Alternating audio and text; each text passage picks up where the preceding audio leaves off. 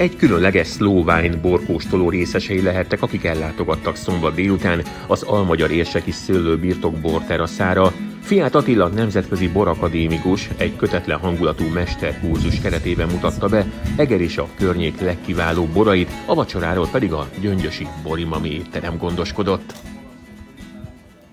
Mitől különleges a mai borkóstoló és ez a helyszín?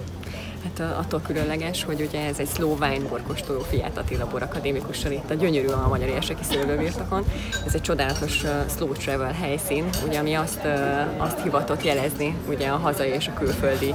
kultúraéhes és ökotudatos turistáknak, hogy, hogy itt természetközeli helyen tudnak lenni, őshonos fajtákat tudnak kóstolni, itt a hagyományokat modern módon őrzik, úgyhogy egy csodálatos egri szlovány borkostolón vehettek részt itt a, a meghívottak, úgyhogy Fiat Attila egy, egy, egy teljesen új típusú megközelítését mutatta meg a, a boroknak, ami a szlovány koncepció, és hát ezek a borászatok, ezek ugye bekerültek a nemzetközi szlómozgalom gágyába, ami egy óriási hír így 32 év után, mert ugye annyi idős a szlómozgalom, úgyhogy már sok-sok millió külföldi turista jöhet ide az egri szlovány borászatokhoz, úgyhogy ez egy fantasztikus kis esemény volt, hogy ugye ezeket a borokat bemutassuk.